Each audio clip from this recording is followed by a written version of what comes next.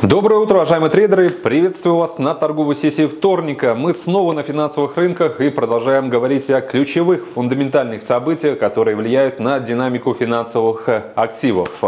Еще один день позади. Начали мы текущую неделю и начали ее с очевидного повышенного спроса на доллар. Друзья, я предупреждал то, что так вот просто трейдерам не удастся избавиться от американской валюты, даже несмотря на очень активные меры стимулирования со стороны Федрезерва и правительства, якобы меры, которые увеличивают эм, денежную массу, разгоняют инфляцию, логичным образом должны приводить к ослаблению курса доллара. Почему э, все эти риски, они м, идут где-то сзади? Почему я все-таки ставлю на укрепление курса доллара? Потому что на текущий момент из-за того, что мы по-прежнему говорим о факте отсутствия локализации коронавирусной инфекции, о факте ее продолжающегося распространения, доллар это по-прежнему лучший защитный инструмент, ну или как минимум самый высоколиквидный ликвидный актив, который может быть легко использован в любых э, конверсионных операциях по перемещению капиталов на международном э, рынке. Имейте, друзья, это в виду.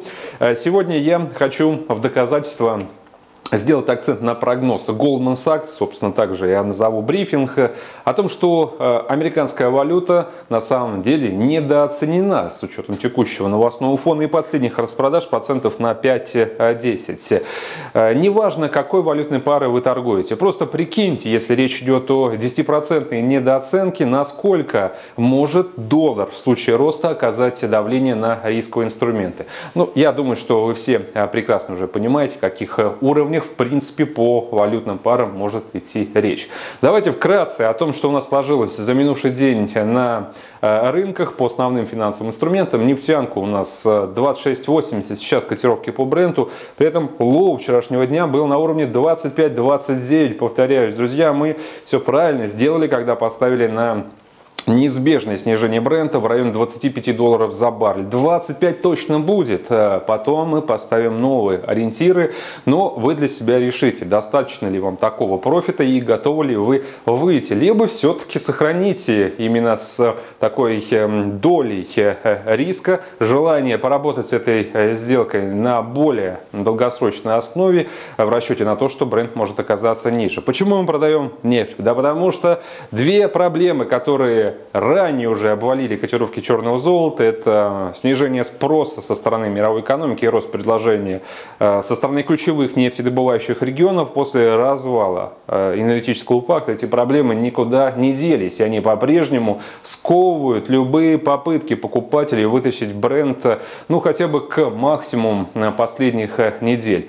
Бренд WTI обречены на перепись многолетних минимумов. И плюс ко всему последние новости Саудовская Аравия анонсировала о том, что у них в планах с мая поднять планку по экспорту дополнительно еще на 600 тысяч баррелей. Я думаю, что этот комментарий явно доказывает то, что Россия и Саудовская Аравия сейчас не ведут переговоры и точно не собираются плясать под дудку США, которые хотят и намереваются, разумеется, в кавычках из-за высокопарных побуждений, э, помирить два ключевых нефтедобывающих региона мира. По нефти дорога только вниз. Если мы продаем нефтянку, рубль тоже очевидно, будет испытывать давление. Вчера мы видели 80, жалко, что не закрепились, потому что в целом-то нефть осталась фактически на тех уровнях, которые минимальных дня, которые мы видели в течение всей торговой сессии. Ну, 80 это уже решенный вопрос.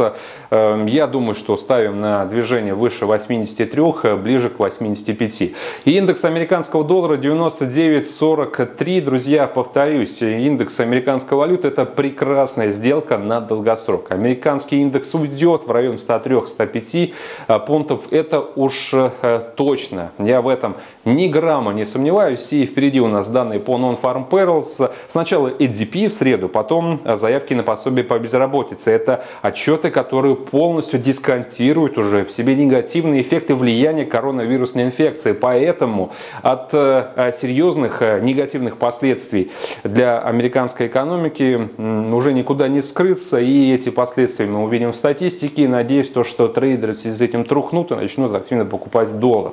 Золото тоже неплохой вариант для покупок на фоне присутствующего риска 1611 сейчас. Мы ждем в районе 1650. Но это для тех, кто все-таки хочет выйти на первой остановке. Я бы э, рекомендовал поддержать до уровня 1700. Евро против доллара 1.1021. Мы снижаем все уровень доверия потребителей. Минус 11,6 с минус 6,6. Рекордный минимум, друзья. ВВП валютного блока снизится как э, э, минимум на 11%. Простая математика. Если если полностью экономика парализована, то за неделю она будет терять 2% ВВП. Сейчас, э, наверное, трудно будет сказать, что она на 100 при на 100%, э, но при этом можем точно сказать, что на 50% она точно парализована. Поэтому в неделю валютный блок сейчас теряет около 1%. И если допустить, что жесткие меры карантина продлятся 3 месяца, 12 недель, можем точно сказать, что в перспективе ближайшего квартала минус 12% и 100% рецессия. Что будет делать правительство правительство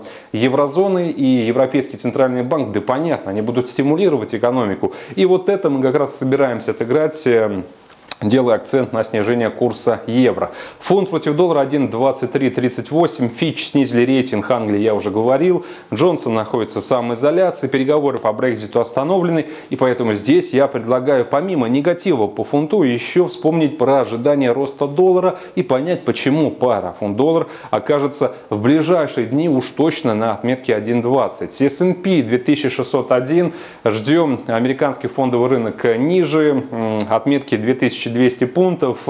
Трамп, э, собственно, продлил действие правила дистанции еще на один месяц. Жесткие карантинные меры также сохраняются. Также масло в огонь подлили его комментарии, что вирус э, может стоить американской экономике и США 200 э, тысяч собственно, жизни это в лучшем э, сценарии, при этом худший сценарий, как отметил Трамп, подразумевал и допускал, что количество жертв может увеличиться до 2,2 миллионов. Австралиец против доллара 0,6172. Предлагаю сделку sell stop с уровня 0,6070, потому что э, правительство Австралии анонсировало пакет э, финансовой помощи на сумму в 130 миллиардов австралийских долларов. Это вот то, что будет бить дополнительно к перспективе смягчения монетарной политики по курсу австралийского доллара. Доллар канадец покупаем, друзья, активно растет пара, я надеюсь, вы уже в профите. 1.4193 сейчас. Сегодня выйдут данные по ВВП, экономическом росте. В 15.30 по Москве ждем слабые цифры и еще один фактор давления на канадца. На этом все. Большое спасибо за внимание. Всего доброго. До свидания.